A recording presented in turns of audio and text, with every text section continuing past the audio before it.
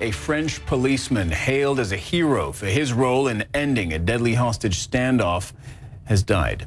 The Interior Minister tweeted this just a short time ago. Lieutenant Colonel Arnaud Beltrame had persuaded a gunman to let him take the place of one of the hostages inside a supermarket in Trèbes, where the incident was underway.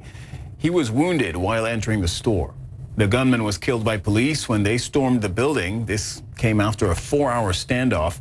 Three others were also killed uh, on Friday by the gunman during the attack.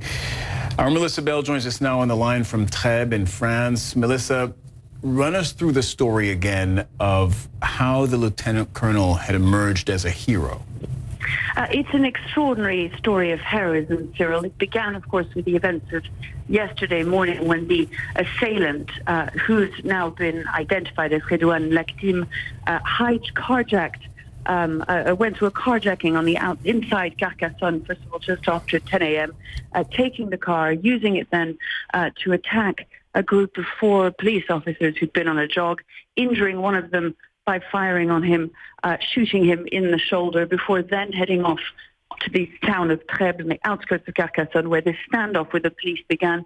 The assailant was holed up inside a local supermarket with hostages, although many of the people had managed to escape with the early sound of gunfire. And during that standoff, uh, which uh, lasted, as you say, some time, it was the extraordinary heroism of this man, Arnaud Beltrame, that not only allowed lives to be saved, the lives of the hostages in question, but also uh, the standoff to be brought to an end, since when he went in to be exchanged with the female hostages that were being uh, held, once he volunteered to do it, he'd left his phone on uh, so that the officers outside, the special forces who'd gathered in this standoff, prepared to uh, move in to uh, uh, take out this assailant were able to hear what was going on. At the first sound of gunfire, they went in.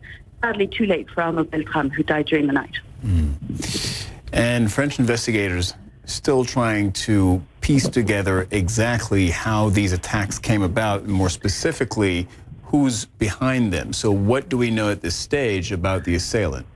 Well, Redouane, Redouane um, Lakdim was a man who was known to um, police services. First of all, as a petty criminal, he'd done time in jail for low-level drug dealing, considered something of a delinquent. But he had also been what the French call fiché S, which means he'd been identified, alerted to security services as someone who was possibly uh, susceptible to radicalization.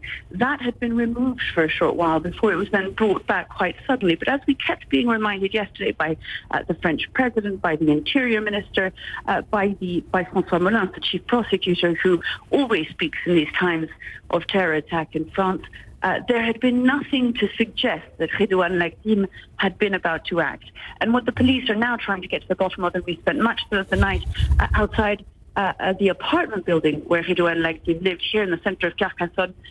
Very large police presence and quite a tense situation with many of the local youths uh, threatening to take on any journalist that tried to take a camera too close to the building. What those police officers there are trying to work out, even as they carried out raids in the building, is precisely what sort of network he might have been involved in, how, whether there was anyone else that he had any links with, or whether this was just a man inspired by uh, what ISIS had done, and in particular the acts of Salem uh, uh um, uh, Abdeslam, whose liberation he had requested. He's, of course, the last surviving member of the 13th of November 2015 attacks, and his trial is currently ongoing and at the center of a great deal of attention here in France. Cyril. Uh, Melissa, Melissa Bell speaking from the site of the attack, Trèbes in southern France. Thank you very much. Very sad news about the passing today of uh, Arnaud Beltrame, just hours after such a heroic act where he substituted himself for a hostage and ended up losing his life to save others. Thank you, Melissa. Josh Campbell is with me. He's a CNN law enforcement analyst, a former FBI supervisory special agent, and also a former counterterrorism investigator. So, Josh, we want your point of view on this. Now, this attack happened in rural France. It was not a high profile target. In fact, much the opposite. There was no symbolic value to it. What does that tell us?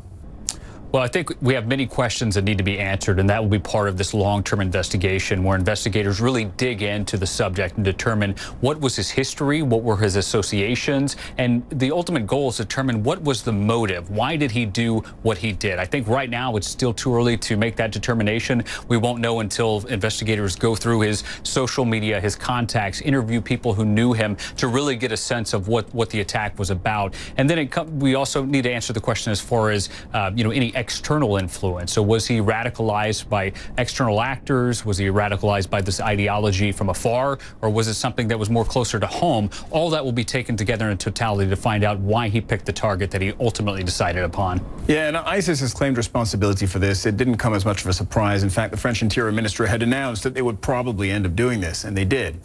Um, ISIS has lost most of its territory in Iraq and Syria. Does that mean that they've also lost most of their power to inspire attacks like these and that this is ultimately an outlier? Or do you think that terrorism, especially in France, has now taken on a life of its own and will continue regardless?